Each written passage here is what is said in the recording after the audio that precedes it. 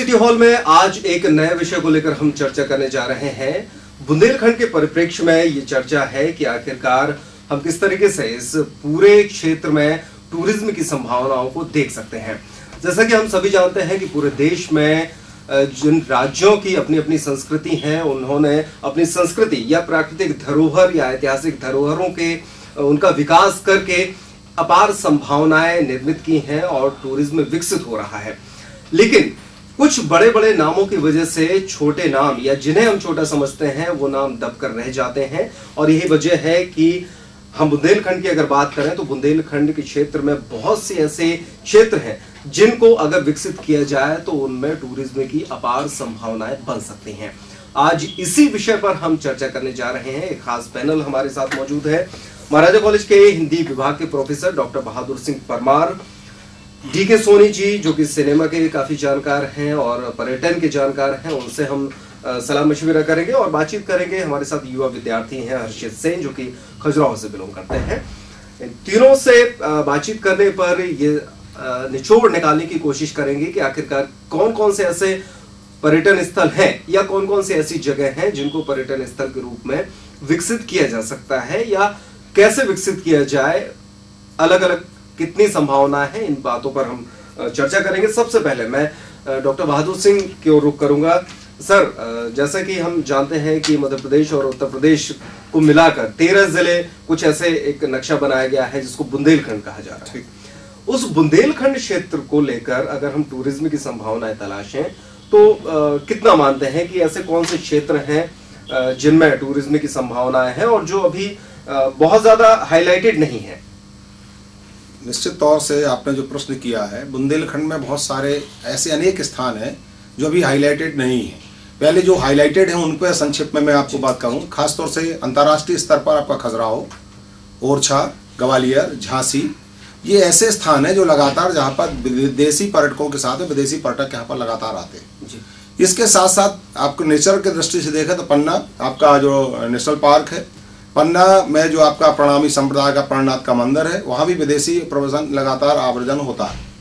संभावना वाले बहुत सारे क्षेत्र हैं, जिन क्षेत्रों को हमें उभारने की आवश्यकता है।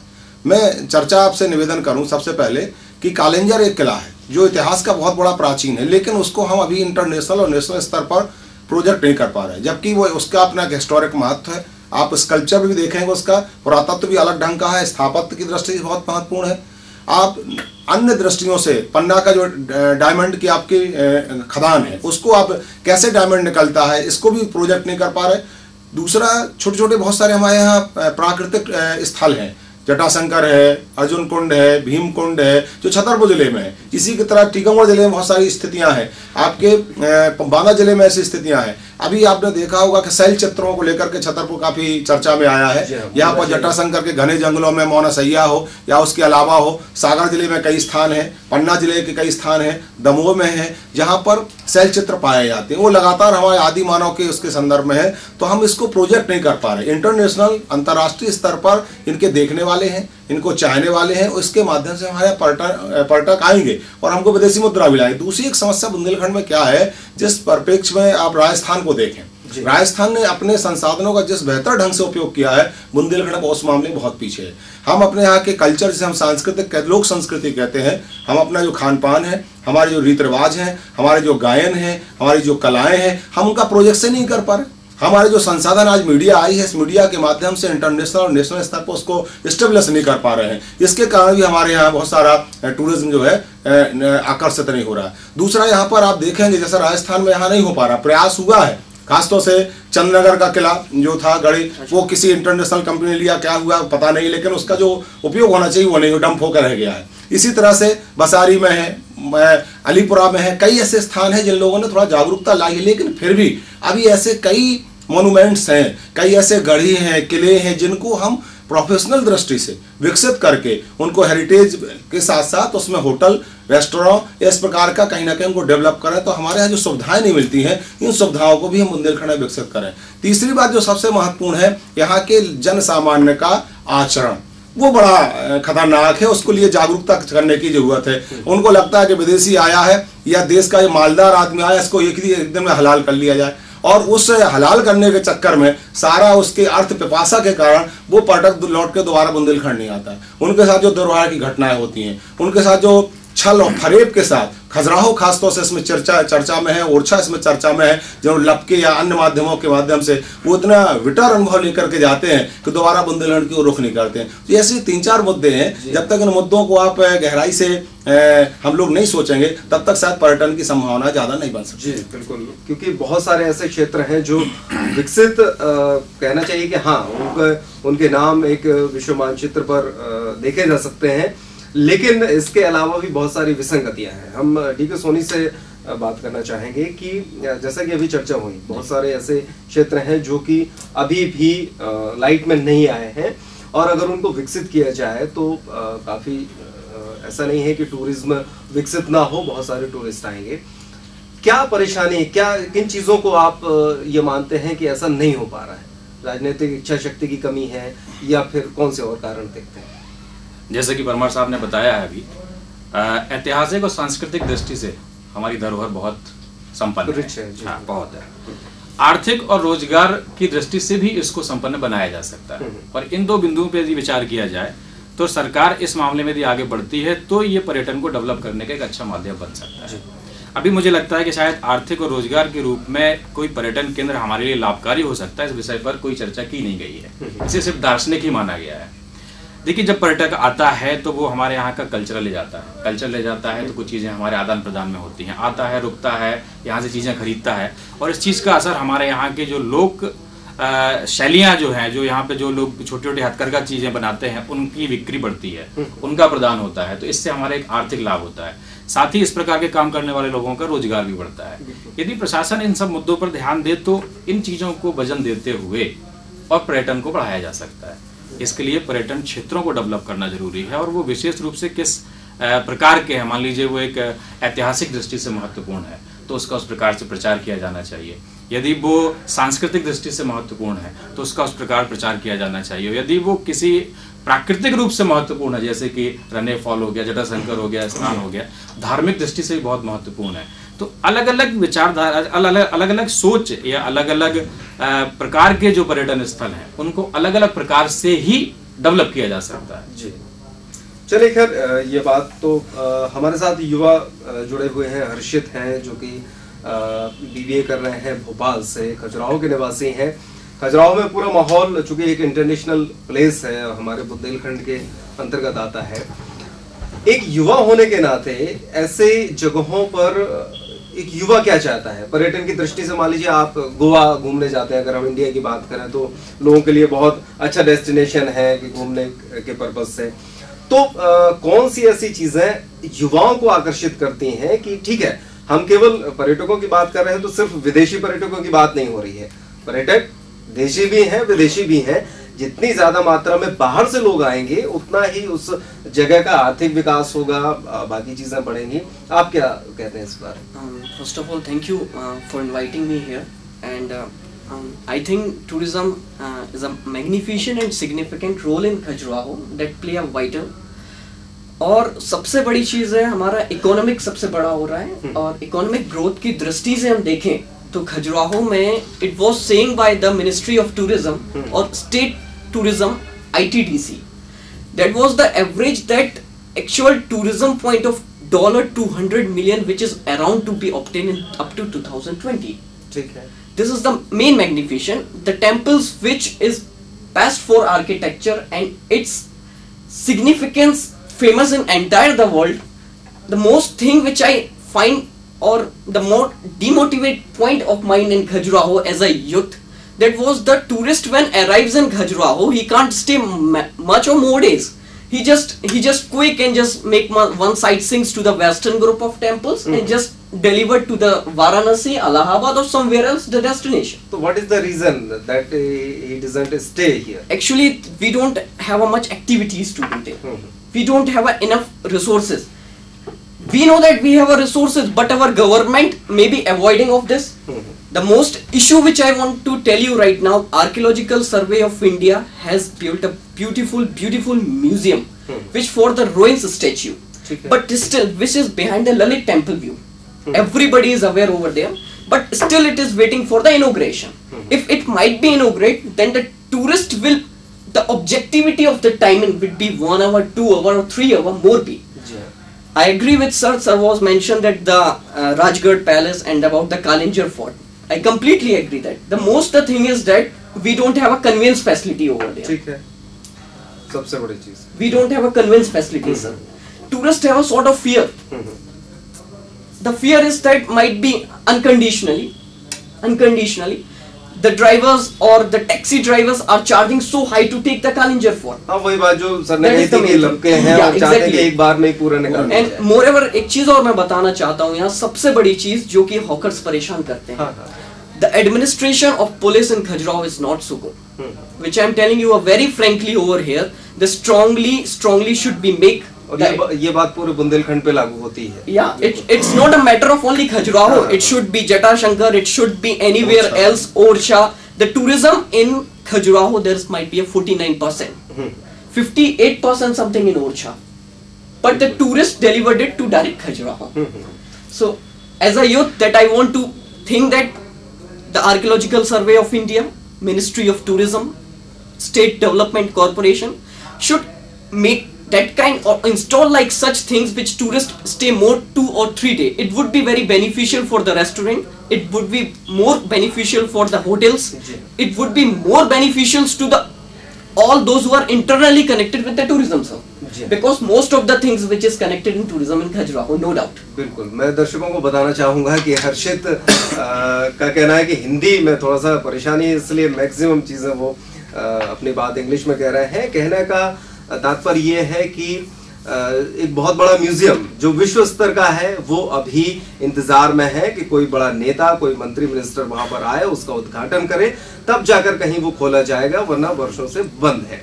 अगर ऐसी चीज़ें शुरू होती हैं, और खासतौर पर कल्चर की बात है, क्योंकि अगर पर्यटकों को रोका जाएगा, वो सिर्फ़ एक दिन में मंदिर घूम के चले जाएँगे तो आपके आय के साधन बंद हैं। अगर वो पाँच दिन रुकता है तो आपको विदेशी मुद्रा अर्जित होगी।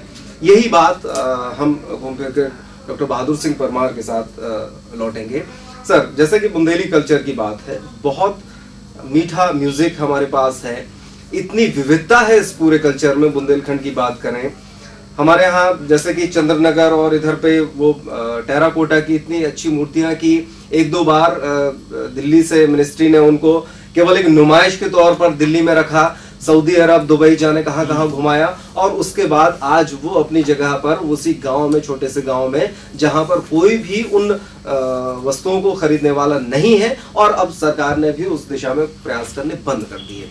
आखिर कब तक ये चलेगा? अगर ये विकसित नहीं होता है तो कितनी मतलब कितनी आवश्यकता मानते हैं? निश्चित तौर से सबसे बड़ी बात जो भी हर्षित। हर्षित ने कहा हमारे पास प्रशासनिक जो सोच होना चाहिए और जिस तेजस्वता से हमें काम करना चाहिए वो नहीं होते। हर्षित ने एक उदाहरण दिया। दूसरा उदाहरण आपके सामने इंटरनेशनल एयरपोर्ट का दे सकता हूँ।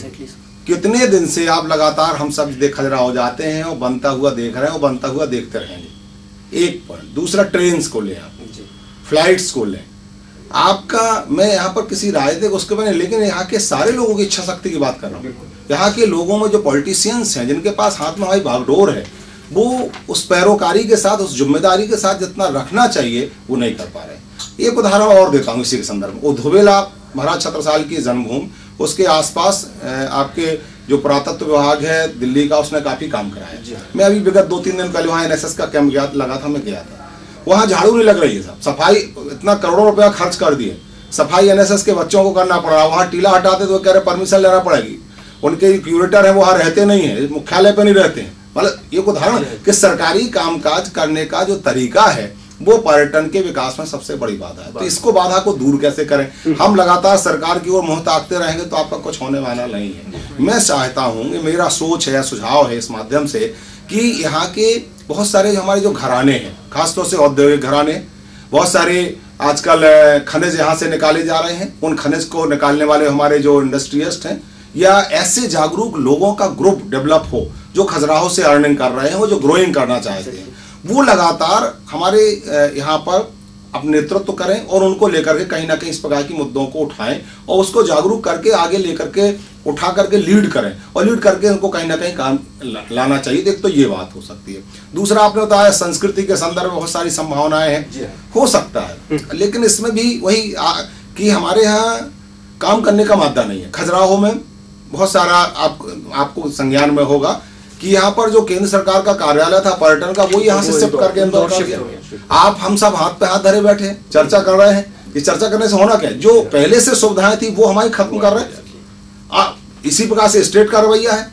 और वहाँ पर जो लगातार होटल्स हैं होटल्स में जो कल्चरल के प्रोग्राम दिए जाते हैं कई प्रोग्राम्स मैंने अटेंड किए हैं वो कितने फूहड़ होते हैं वो इतने स्तरहीन होते हैं क्योंकि उसमें पैसा ही वहाँ पर सब कुछ हो गया। वो कलाकार केवल प्रोफेशनल हो गए। हमारे पास जो नॉन प्रोफेशनल डेवोशन से कलाकार हैं लोग के गाँव में उनको वहाँ तक पहुँच नहीं है। और बहुत से कलाकारों में से तो ऐसे भी है कि जो राय के नाम पे ढड़ियाई करते हैं हम सब वही तो कर रहे हैं उनको पता ही नहीं है। जी तो ये सब चीज़ें दूसरा आपने उठाया बुंदेली के बहुत सारे जो हमारे फाइव स्टार होटल हैं वो उपयोग कर रहे हैं। बुंदेली व्यंजन में एक बार चंदेला गया टुडे स्पेशल डोबरी। वहाँ डोबरी को पर लेकिन आप और हमारे यहाँ के स्थानीय टूर लोग ऐसे ना रेस्टोरेंट डेवलप कर रहे हैं ना छोटे छोटे इस प्रकार से आप होटल्स डेवलप कर रहे हैं जो वहाँ पर क्योंकि हर आदमी फाइव स्टार में नहीं जा पाए। जो हमारा देश का पर्यटक है जिनके पेइंग कैपेसिटी कम है वो छोटे होटल्स में जा सकता है। वहाँ कर वो कई लोग ऐसे आते हैं जो बुंदेलखंड के लोग स्थानीय डिश खाना चाहते हैं उनको नहीं मिलता है। तो ये हमको युवाओं में से आप में से इस प्रकार से जागरूकता हमको समाज में लाना चाहिए। जो बेरोजगारी का रॉनर होते हैं एक ढाबा खोल लें जो ट्रेडिशनल फूड्स के बारे में। यहाँ पर बहुत सारे जैसे आपने बालचंद कुमार की बात उठाई बहुत सारे ऐसे स्कल्पचर और भी हैं। बाँस का काम हमारे यहाँ होता है मिट्टी का काम हमारे यहाँ होता है बहुत सारे लकड़ी का काम करने वाले हैं श्रीनगर के पास में आपके धातुओं का काम करने वाले हैं टीकामोड़ा बहुत अच्छे और लोग हैं। तो इनके एक मार्केट डेवलप किया जाए।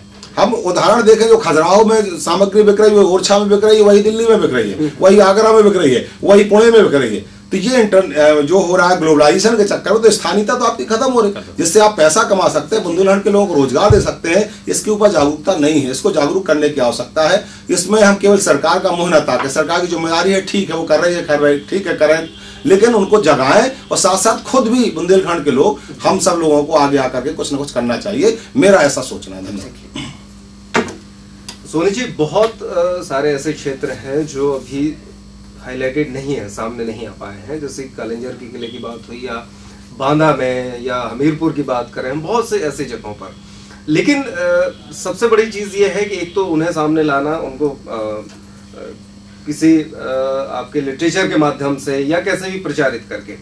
लेकिन कितना अहम रोल आप मानते हैं हमारे यहाँ की जो लिंकिंग सड़कें हैं या वहाँ तक पहुँचने के जो स्थान हैं क्या आज हम कैलेंजर बहुत आसानी से दो या चार घंटे के रास्ते से पहुँच सकते हैं? या ऐसी बहुत सी जगह है मोना सैया की बात हुई। ऐसे चित्र वहाँ पर पाए गए हैं जो 40 30 से चालीस हज़ार वर्ष पुरानी गुफाएँ हैं जहाँ पर आदि मानवों ने चित्र बनाए हैं उकेरे हैं आखेट के चित्र हैं मनोरंजन के हैं। लेकिन वहाँ तक पहुँचना मुश्किल है। गढ़ का किला है। जी हाँ बहुत बड़ा जी। बिल्कुल आप सही कह रहे हैं शिवन जी। एक्चुअली क्या होता है जब कोई पर्यटक आता है तो वो सबसे पहले देखता है सुविधा। वहीं हम्म। पहुँचने की सुविधा क्या है? फिर उसका साधन क्या है? हम्म। और सुरक्षा क्या है? ये तीन बहुत ही महत्वपूर्ण बिंदु हैं।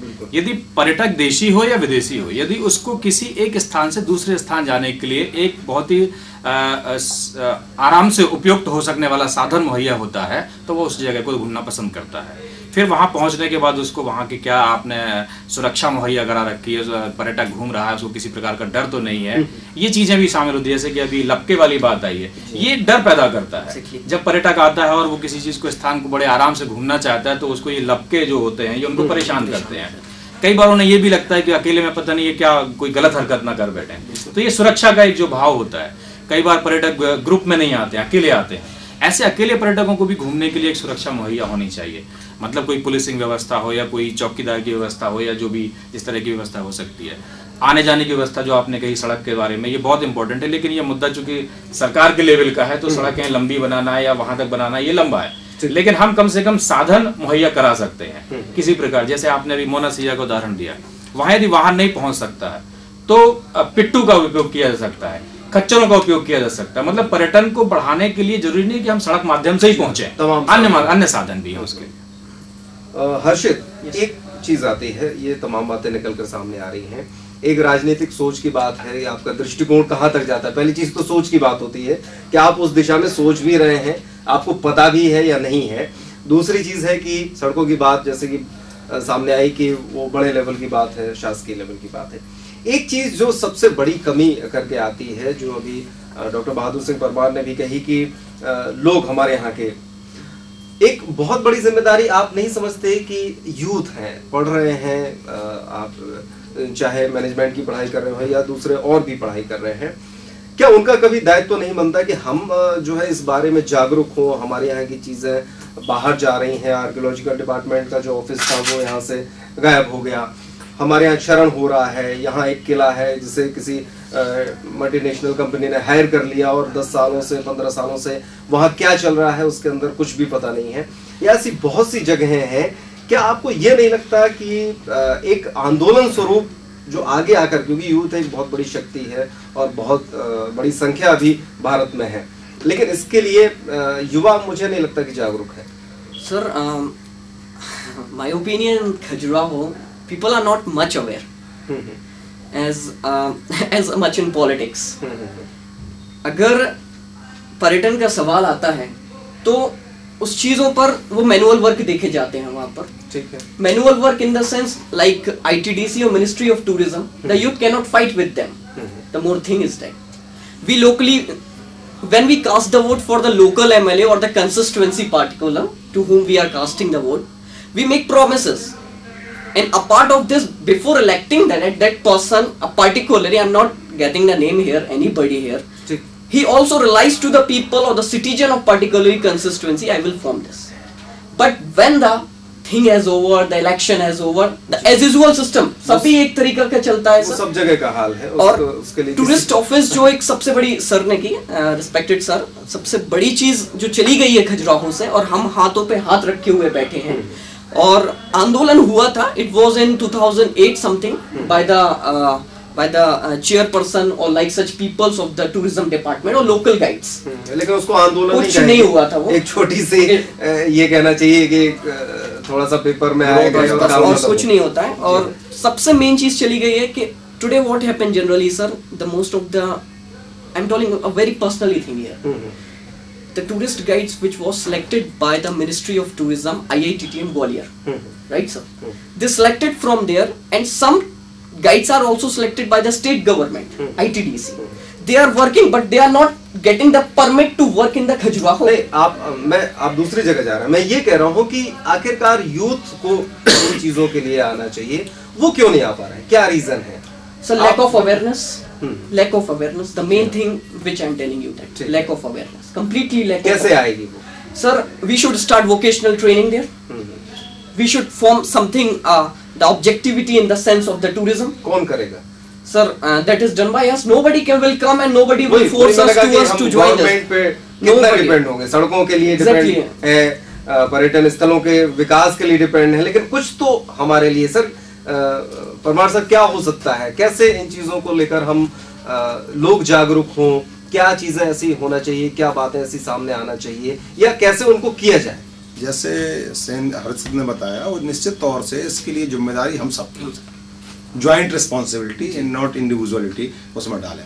इसमें तीन चार चीज़ें हो सकती हैं। सबसे महत्वपूर्ण तो अवेयरनेस के लिए हम खासतौर से जो टीचिंग लाइन में हैं चाहे कॉलेज स्तर पर हो चाहे हायर सेकेंडरी स्तर पर हो जो जिम्मेदार लोग हैं, कहीं ना कहीं इस प्रकार के अपने बुंदेलखंड के उन पाठ्यक्रमों में, सिलेबस में डालें, जो यहाँ के टूरिज़्म को लेकर के, यहाँ के पुरातत्व को लेकर के, उनके महत्व को लेकर के बच्चों में ही शुरुआत से कुछ ना कुछ संस्कार दें पहली बात तो ये होना चाहिए। तो उनको समझ में आए कि हमको यहाँ एक एटिकेट क्या है, मैनर्स क्या है जो बाहर से आता है तो वहाँ वहाँ का एम्बेसडर है कि नहीं है वो छात्र मतलब हम अपने देश का प्रतिनिधित्व करते हैं, ये भाव यहाँ के लोगों में नहीं है। क्योंकि अब भारत में परंपरा बहुत दूसरी है, प्राचीन से नहीं रही तो इसीलिए- न इतिहास लिखने की रही न ऐतिहासिक को तो संरक्षण करने एक तो ये होना चाहिए।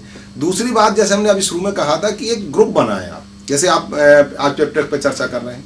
और इसी चर्चा के हमका त- बरक्स है चार छह लोगों का ग्रुप ही हो विरोध करने के लिए कहीं ना कहीं क्योंकि आज बिना विरोध के कोई चीज़ मिलती नहीं है। जब तक बच्चा रोता नहीं माँ भी दूध नहीं पिलाती। सरकारें तो छोड़िए तो जब ये स्थितियाँ हैं तो इसके लिए अवेयरनेस और सबसे महत्वपूर्ण क्या हो रहा है? जैसा हर्षद ने कहा हर आदमी इस समय वैश्वीकरण के चक्कर में ग्लोबलाइजेशन के चक्कर में सेल्फ सेंटर्ड हो गया।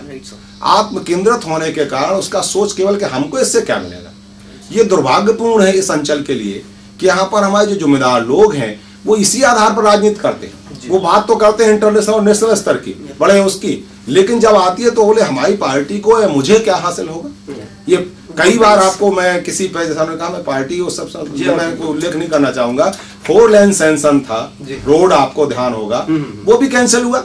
उसके पीछे भी सुना जाता है जो चर्चाएँ हैं तरह तरह की राजनीति थी कि वो किसके ज़मीन से निकल रहा था कि किसका हित नहीं हो रहा था हाँ। किसका उजाड़ हो रहा था। जहाँ ये सोच हो तो वहाँ पर यूथ्स को ही आगे आना पड़ेगा। कुछ ना कुछ ऐसे जागरूक लोगों को आगे आना पड़ेगा जो एक ऐसा वातावरण बनाए। जिससे पर्यटन बढ़े पर्यटन पर्यटकों के मन में विश्वास जगे उनका सम्मान कर सके। इस प्रकार की जागरूकता के लिए सामूहिक ज़िम्मेदारी आवश्यकता है। शिक्षा से जगत जुड़े हुए समाज से जुड़े हुए तमाम लोगों को आगे आकर के काम करना पड़ेगा। आप चूँकि महाराजा कॉलेज में प्रोफेसर हैं उच्च शिक्षा से जुड़े हुए हैं क्या कुछ एक ऐसा महसूस करते हैं कि कुछ ऐसा एक पाठ्यक्रम जो कि जैसे कि आधार पाठ्यक्रम चलता है नहीं, नहीं, उसमें हाँ। एक समाहित करके एक ऐसा टॉपिक वैसे हो चाहिए? जाए वैसे महाराजा कॉलेज से ऑटोनॉमस कॉलेज हमको ऑटोनॉमी मिली हुई है सिलेबस डेवलप करने की। तो यहाँ के इतिहास विभाग ने और हिंदी विभाग ने दोनों ने बुंदेलखंड का इतिहास चलाया हुआ है इतिहास विभाग में।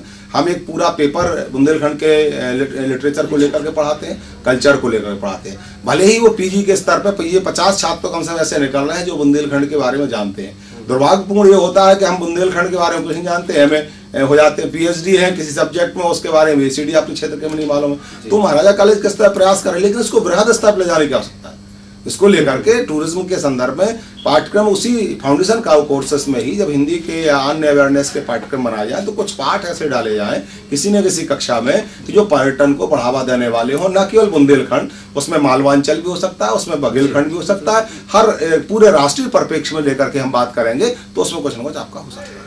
तो ये तमाम चीज़ें निकल कर आई हैं, एक ब्रेक लेते हैं और ब्रेक पर जाने के बाद एक बार फिर से हम बहस में लौटेंगे और ये चर्चा ये ज़रूर करेंगे जो अभी हर्षित से छूट गई है कि आखिरकार कौन सी ऐसी महत्वपूर्ण चीज़ें हैं जो युवाओं को खासतौर पर आकर्षित करें जिससे कि युवा भी उन पर्यटन स्थलों तक जाए और उन जगहों को देखे। और इसके अलावा ये भी चर्चा की अगर जो पर्यटन क्षेत्र हैं जितने भी, अगर उनको लिंक किया जाए एक दूसरे से एक जगह पर अगर पर्यटन पर्यटक है, और उसको फिर वहीं से बाकी अन्य जगहों के बारे में, चाहे वो छोटी जगह हो या बड़ी जगह हो, वहाँ के बारे में जानकारी मिले और सुविधा मिले तो इसका कितना बड़ा फ़र्क पड़ सकता है? लौटते हैं छोटे से ब्रेक के बाद।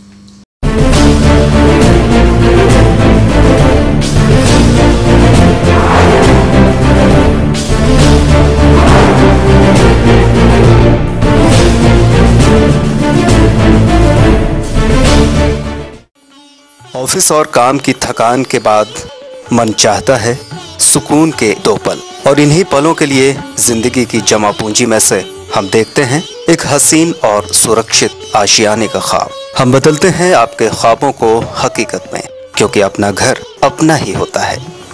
पैप्टिक टाउन, कल के लिए एक सुरक्षित निवेश।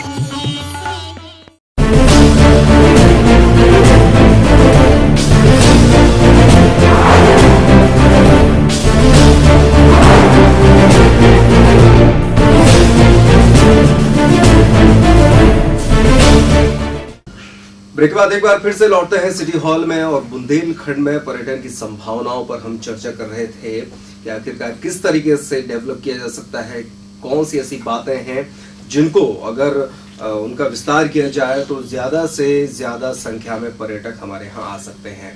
मैं हर्षित से जानना चाहूँगा, हर्षित एक कि जैसे यूथ है, वो अगर कहीं घूमने जाना चाहता है, घूमने जा रहा है, जैसे न्यूली मैरिड कपल हुए वो जाना चाह रहे हैं या हम अपने फ्रेंड्स के साथ भी कहीं घूमने जाना चाह रहे हैं तो आप क्या देखते हैं कि वो उस जगह पर क्या ऐसी चीज़ें होनी चाहिए क्या किस चीज़ को लाइक करते हैं और अगर वो उनको वहाँ मिलता है तो वो ज़्यादा से ज़्यादा या कई बार वहाँ पर जाना पसंद करते हैं right, sir. I agree with you. Um, actually, what happened generally the youth arrived uh, uh, at Khajuraho, happened, he just make a sightseeing for uh, 3 hour 4 hour and 5 hour at least and then he get bored of that architecture temples because all youths are not equal or not uh, same mm -hmm. some youths interested in discos some youths mm-hmm. interested in pubs mm -hmm. some youths interested in some else things yeah. if you talk if we are talking about the professionally way the youth mm -hmm. bilkul, bilkul. the youth will come for the research purposes some here mm-hmm. i have find because i have been um, uh, just uh, itself doing research over there and finding the peoples what they are doing the youths come for the purposes they they just can explore the panna tigerism which is the wonderful way they can explore the Rane Fall and Pando Falls, hmm. which is the most most and for relaxing itself for going to the waterfall. Hmm. But what happened generally that cases is that only because there is no good way. Hmm.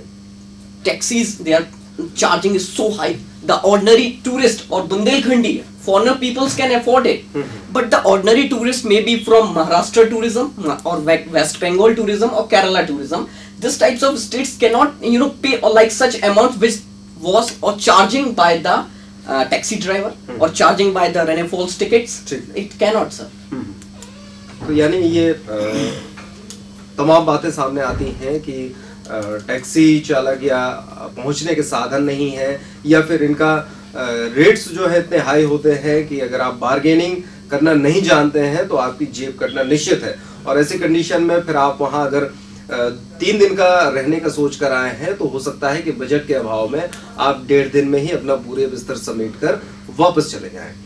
Devendra जी जैसे कि एक बात निकल कर अभी interval के पहले सामने आ रही थी कि इन जगहों को अगर लिंक किया जाए एक जगह पर टूरिस्ट पहुँचता है और उसके बाद उसको अगर वहाँ से सुविधा मिलती है और वहाँ से जानकारी भी मिलती है, क्योंकि उनके साथ जो आपके गाइड्स होते हैं, वो खास खास जगहों पर ही फोकस करते हैं। वो बताएँगे कि नहीं साहब, आप यहाँ से बनारस जाइए। बनारस के बाद फिर आप इलाहाबाद जाइए और इलाहाबाद के बाद दिल्ली की ट्रेन पकड़िए फ़्लाइट पकड़िए और चले जाइए। लेकिन ऐसी जगहों के बारे में भी अगर बताया जाए फोकस किया जाए और कुछ एक ऐसी अगर हम कल्चरल इवेंट्स की बात करें या फिर कुछ एडवेंचरस गेम ऐसे जैसे रनेफाल की बात है वहाँ पर कुछ इस तरह की चीज़ें अगर हम करेंगे तो क्या इसमें और बूम आ सकता है? जी बिल्कुल। मैं आपको अपनी बात के समर्थन के लिए अपने व्यक्तिगत दो उदाहरण देना चाहूँगा। चूँकि हम सभी खजुराहो के आसपास ही रहने वाले छतरपुर ज़िले के रहने वाले हैं और मैंने भी अपनी ज़िंदगी में खजुराहो कई बार घूमा होगा बचपन से लेके शायद दस बीस बार। जी। लेकिन एक बार मेरे एक मित्र आए जो हैदराबाद से आए थे। मैं उनको लेके जब खजुराहो गया तो उन्होंने एक गाइड किए और जब गाइड ने हमें खजुराहो घुमाया और मंदिरों में बनी मूर्तियों के बनाए जाने की वजह बताई तब मुझे जीवन में पहली बार समझ में आया कि किसी भी पर्यटन स्थल पर यदि आप बिना गाइड के जाते हैं हाँ, तो तो आप सिर्फ़ देखते हैं समझते नहीं है। हाँ। तो किसी भी पर्यटन को आकर्षित आकर्षण बनाने के लिए ज़रूरी है कि आप उसको समझें कि ये क्यों है इसकी महत्वता क्या है। जैसे अभी बीच में चर्चा आई थी हमने भीमकुंड की चर्चा की। भीमकुंड एक अनजान सा है अभी। अब हम बुंदेलखंड में जानते हैं हाँ। लेकिन बाहर नहीं जाना जाता है। जबकि भीमकुंड की कितनी बड़ी खासियत है कि भीमकुंड की जो था है मतलब पानी की जो गहराई है वो आज तक पता नहीं चल पाई है। हाँ। कहा जाता है कि जब सुनामी आया था समुद्र तट पे तब उसकी लहरें बुंदे भीमकुंड में उठी थी। यहाँ दिखाई दी गई थी। और आज भी वहाँ का पानी समुद्र की तरह बिल्कुल नीला और साफ़ है। बिल्कुल। तो ये कुछ इस प्रकार की जानकारियाँ हैं जो दी जानी चाहिए पर्यटनों के बारे में। किस प्रकार से दी जा सकती हैं? हम सांस्कृतिक कार्यक्रम कर सकते हैं। बुंदेली उत्सव जैसे कार्यक्रम जो होते हैं जो विभिन्न अभी मान लीजिए छतरपुर में ही होते हैं या किसी एक गाँव में होते हैं हम इनको विभिन्न स्थानों में कर सकते हैं। एक बुंदेलखंड में करें भीमकुंड में करें एक अर्जुन कुंड में करें एक जैसे गड़कुड़ार में भी होता है कार्यक्रम। तो ये जो कार्यक्रम होते हैं ये अपने आप में लोगों को आकर्षित करते हैं और उस पर्टिकुलर जगह के बारे में विस्तार से बताते हैं और उसके प्रति आकर्षण भी पैदा करते हैं। इसमें एक रोल चूँकि आपने मेरा इंट्रोडक्शन में कहा कि मैं सिनेमा का जानकार हूँ तो मैं ज़रूर इस बात को उद्धृत करना चाहूँगा कि सिनेमा एक ऐसी विधा है जिसमें हम बहुत अच्छी चीज़ों को दिखाते हैं। और आकर्षण पैदा करते हैं। तो एक डॉक्यूमेंट्री टाइप की चीज़ भी यदि इन सब स्थानों के बारे में बनाई जाए जो सरकारी लेवल पर भी हो सकती है सरकार के अनुदान से या व्यक्तिगत तौर पर भी हो सकती है। यदि इस प्रकार की डॉक्यूमेंट्रीज बनती हैं और इन चीज़ों की विशेषता जैसे अभी आपने जो अ, शैलचित्र मिले हैं हाँ, वहाँ हाँ मोना सैया में जो शैलचित्र मिले हैं उसके बारे में जो आपने न्यूज़ कवर की उसने एक जागरूकता पैदा की। अब लोगों का आकर्षण उसके प्रति बढ़ेगा और वो पर्यटन को खींचेगा। इस प्रकार डॉक्यूमेंट्री जो सिनेमा में जो दिखाए गए स्थान होते हैं वो फ़ेमस हो जाते हैं और लोग वहाँ जाना पसंद करते हैं। इस बारे में स्विट्जरलैंड। हम सबने अपनी फ़िल्मों में स्विट्जरलैंड देखा है। और स्विट्जरलैंड की 70 टू 80 परसेंट इकोनॉमी पर्यटन बेस्ड पर्यटन से है फ़िल्म से फ़िल्म से। गोवा का भी यही हाल है। हाँ। वहाँ से पर्यटन पर्यटन से कमाई होती है। तो गोवा भी हमारी फ़िल्मों में बीच गोवा के दिखाए जाते हैं। तो मेरे कहने का मतलब है कि जब हम किसी भी स्थान को एक विशेष रूप से दिखाते हैं कि साहब इसकी एक सांस्कृतिक वैल्यू है इसकी ऐतिहासिक वैल्यू है और इसकी एक दार्शनिक वैल्यू है और वहाँ पे उस प्रकार के कार्यक्रम करते हैं। चाहे वो सांस्कृतिक कार्यक्रम हो चाहे ऐतिहासिक कोई कार्यक्रम हो चाहे कोई अ, सिनेमा से संबंधित कोई चीज़ हो तो वो लोगों को आकर्षित करती है और ये हमको पर्यटन को बढ़ाने में मददगार साबित होता है। सर आखिरी सवाल क्योंकि जितनी भी बातें निकल कर सामने आई हैं चाहे हम कल्चरल एक्टिविटीज़ की बात करें या फिर अ, सिनेमा के माध्यम से उनको सामने लाने की बात करें कहीं ना कहीं अ, हम एक दो बार तो अपने लेवल पर काम कर सकते हैं लेकिन बार बार करने के लिए शासन स्तर से प्रशासन स्तर से अगर मदद नहीं मिलती है तो वो चीज़ वहीं पर रुक जाती है। क्या मानते हैं कि जब अगर हम उन्हीं पे आश्रित अगर रहने ही है तो मुझे तो नहीं लगता कि फिर ये तो निराशा का संभावना है, भाव समझ रहे हैं ये तो निराशा का भाव होगा। जी। एक जो भी सोनी जी ने बात की उसको थोड़ा सा और उसमें जोड़ते हुए आपके प्रश्न का जवाब देता हूँ। फ़िल्म की बात की इसी के हमारे दिमाग में फ़िल्म के साथ इस समय सोशल मीडिया की बड़ी चर्चा है। हम्म, और आप हम जैसे तमाम लोग सोशल मीडिया के जुड़े हुए हैं। जुड़े हुए हैं। आप हम जब जाते हैं तो सोशल मीडिया में ही बुंदेलखंड के बहुत सारे जो पर्यटन स्थानों की बात कर रहे हैं उनको डाउनलोड करें। उनके बारे में प्रचार प्रसार करें। और उसके बारे में करें तो सो थोड़ा सा परिवर्तन तो आएगा। खासतौर से यूथ में जो कहीं ना कहीं एक अपने वर्चुअल वर्ल्ड में घूम रहे हैं हाँ, हाँ। वो कहीं ना कहीं बुंदेलखंड के प्रति एक आकर्षित हो सकते हैं जिसमें हम फेसबुक ट्विटर जैसे अनेक अनेक साधनों का उपयोग कर सकते हैं। आपने जो बात की सरकार की निश्चित तौर से सरकार की ज़िम्मेदारी है सरकारें अपनी अपनी ज़िम्मेदारी निर्वहन करती हैं। लेकिन निराश और हताश होने से बात नहीं बनेगी। भैया ने अभी बात की बुंदेली उत्सव। मैं बुंदेली उत्सव से जुड़ा हूँ आप भी जुड़े हैं। हाँ। शुरुआत में हमें अनुदान मिला। लेकिन जब विपरीत परिस्थितियाँ होती थी काम करने में और मज़ा आता। है जी। आज दस साल से हम अनुदान नहीं मिल रहा। है लेकिन काम तो चल रहा। है है। और ज़्यादा उत्साह से क्योंकि सरकारी में एक साहित्य में कहा जाता है प्रेमचंद ने ही कहा है शायद कि सरकारी चीज़ का असर खत्म हो जाता है। वो असर असरकारी हो जाती है। इस प्रकार से तो सरकार जहाँ भी जुड़ती है उसका असर खत्म ना हो। तो कहीं ना तो मेरा ऐसा मानना है कि सरकार की एड मिले। लेकिन सरकार के आने से आप संस्थाएँ अपना उद्देश्य भटक जाती हैं। जी इसी संदर्भ में बुंदेली उत्सव का एक संस्मरण याद दिलाना चाहूँगा। उस समय कांग्रेस गवर्नमेंट थी 2003 या दो की बात है। बहुत मुख्यमंत्री थे उन्होंने कहा कि आप हमें दे दीजिए और तमाम बुंदेली उत्सव हम कराएँगे।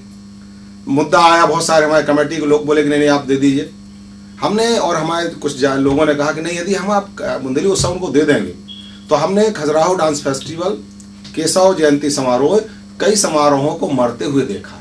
मरते हुए इस साइंस में कि आप ना अपने मन से बुंदेलखंड के कलाकारों को हम मंच दिला पाएँगे।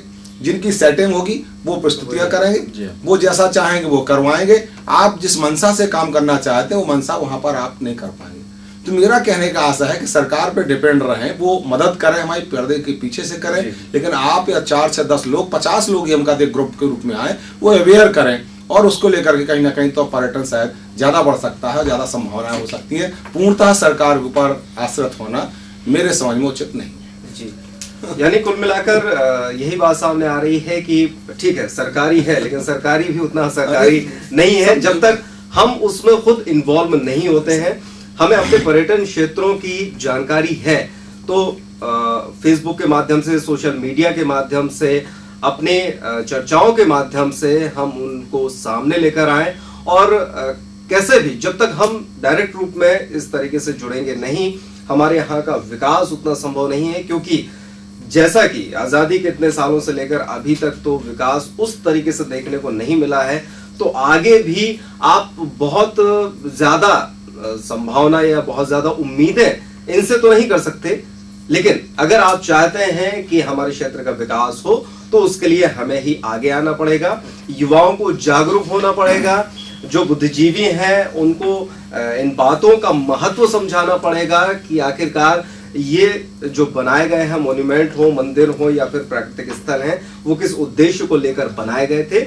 और फिर हम टीवी डॉक्यूमेंट्री के माध्यम से, फ़िल्मों के माध्यम से लोगों को आकर्षित करें और इसको पूरी दुनिया और पूरे देश के सामने ले जाएँगे। तो निश्चित तौर पर बुंदेलखंड एक बहुत बड़ा हब बनकर उभरेगा और यहाँ पर भी काफ़ी संभावनाएँ नज़र आएँगी। आज हमारे इस डिबेट में महाराजा कॉलेज से doctor Bahadur Singh Parmar D K Soni जो कि सिनेमा की जानकार और पर्यावरणविद और साथ ही साथ युवा विद्यार्थी हर्षित सेन थे जिन्होंने अपनी बात रखी और काफ़ी चीज़ें यहाँ पर निकलकर सामने आई हैं। अगर इन पर अमल होता है, काम होता है तो निश्चित तौर पर यहाँ पर अपार संभावनाएँ टूरिज़्म की देखने को मिलेगी।